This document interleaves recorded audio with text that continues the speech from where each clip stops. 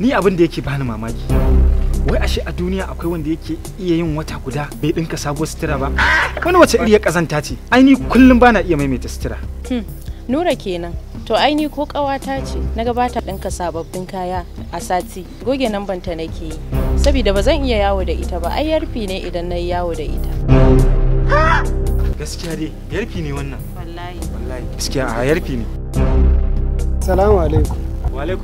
Yara dan Allah ku yi haƙuri kar ku ce na shiga muku magana. Har zan wuce.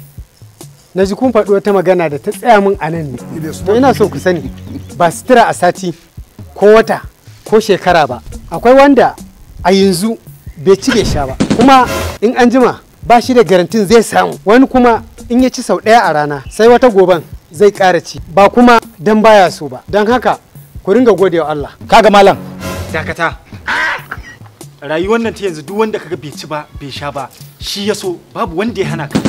Ko ba haka ba? Haka ne ma. wai wai waye kai ne? Malam wai waye wannan? Kin san shi ne? Ni ma ban san shi ba kai. Dan Allah yana. da Allah malam yi gaba yi gaba da Allah.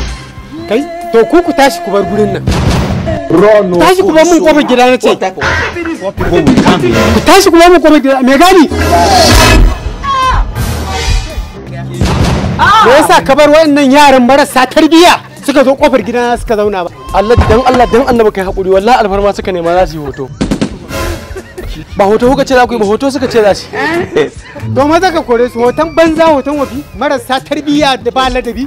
Ke nan kai.